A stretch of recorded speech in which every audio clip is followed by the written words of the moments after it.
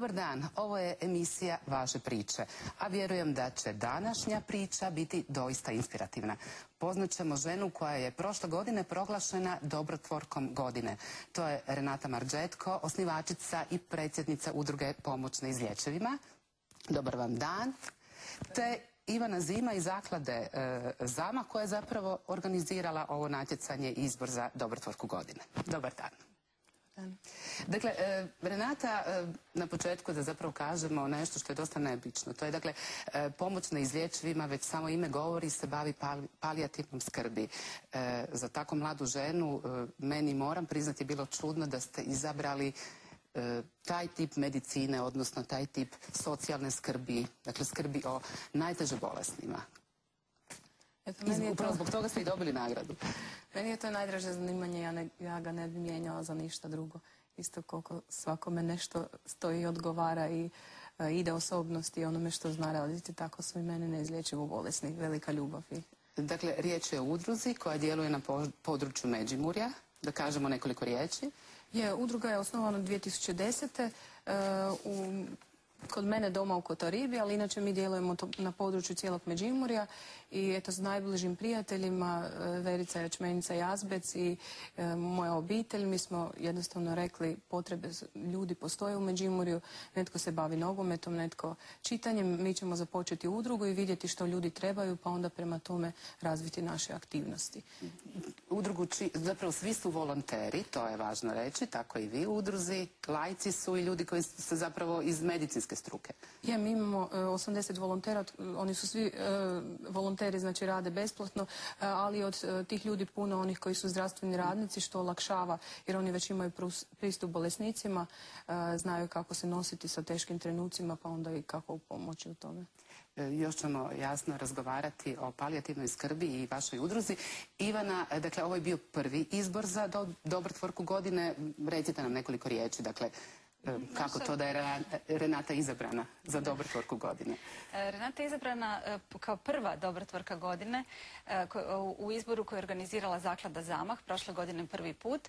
Mi smo na neki način željeli pokazati dobre primjere žena filantropa, odnosno žena koje u svojoj zajednici nekako tiho ali e, nesebično i vrlo predano pomažu i e, na neki način svojim dijelima mijenjaju svijet. Ali to nisu tak velika dijela o kojima ćete slušati na naslovnicama, to su uglavnom ovako male priče o kakvima vi pričate.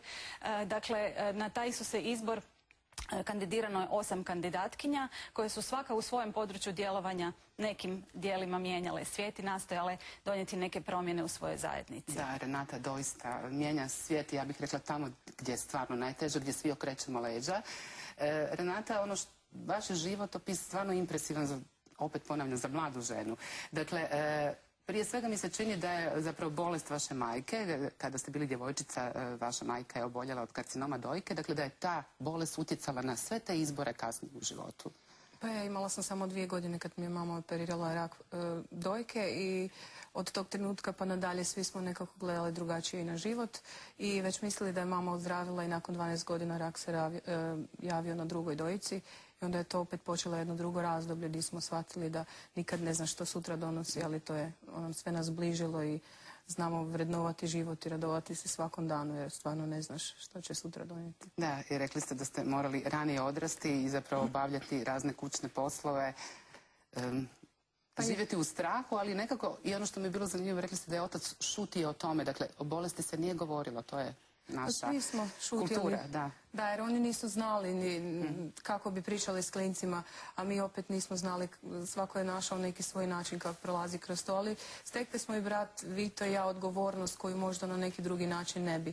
Uvijek smo znali da je mama bolesna pa da trebamo mhm. pomagati. Onda nam je u, odraslom životu to i tekako pomagalo. Da, čini se da sve ovo kasnije zapravo nekako proizlazi iz tog osjećaja iz djetinstva.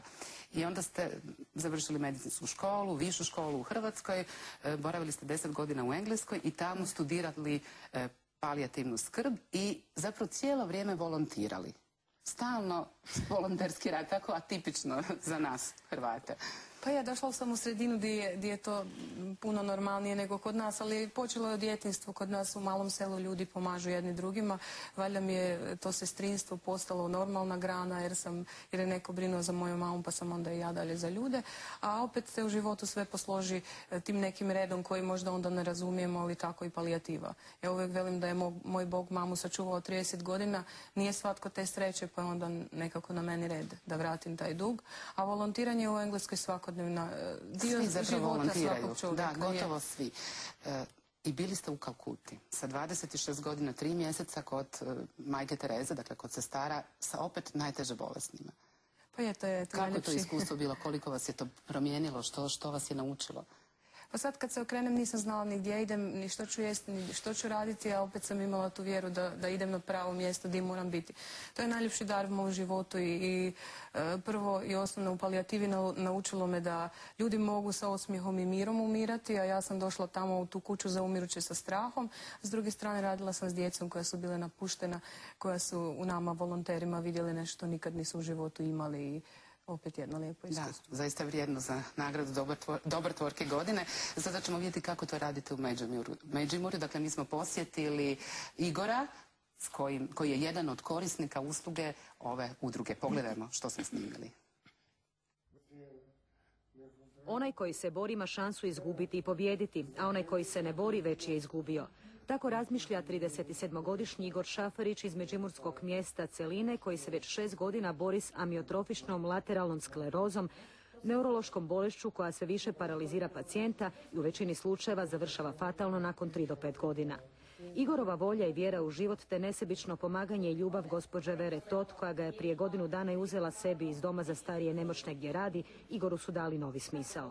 Dopodne ono kaj treba njemo doručak, njega, dosta razgovaramo. E, ja sam inače maserka, onda ga i maseram i vježbam i njegovatelj sam. Postoje teorijske indicije da Igorova bolest potaknuta ozljedom na radu prije 15 godina kada je slomio ruku na dva mjesta. Postupno su mu slabili cijeli organizam, atrofirali su mišići da bi na kraju ostao gotovo nepokretan. Bez odgovarajućih pomagala život bi mu bio nemoguć. Jedan od dobročinitelja u Igorovu životu je Renata Marđetko, voditeljica udruge za palijativnu skrb, koja mu je među ostalim nabavila bolesnički krevet kako bi mu bare malo olakšala svakodnevicu. Kratko je putem, ali to je osoba nakon što je pročitala članak o Igoru u jednom lokalnom tjedniku, Renata je odmah s njim stupila u kontakt. Baš je uzela vremena, saslušala me i doista tih devet, to je obećala i za tjedan dana sam dobio taj krevet. Uz krevet koji ima prijeko potrebna su mu električna kolica, da ne pričamo o vitaminima i mineralima, dodacima prehrani koji su vrlo skupi, posebite kada vam primanja ne premašuju 1300 kuna. Kad ne radi Verica se brine o Igoru, no problem su sati kada je na poslu. Razne ustanove, pa tako i one zdravstvene, nemaju dovoljno razumijevanja za neizlječive bolesnike. Srećom postoje dobri i časni ljudi koji održavaju njihovo dostojanstvo, kao što je primjerice udruga pomoć neizlječivima, kazao Igor te poručio svim neizlječivim bolesnicima da imaju strpljenja i vjere, jer nikad ne znaš što ti donosi sutra.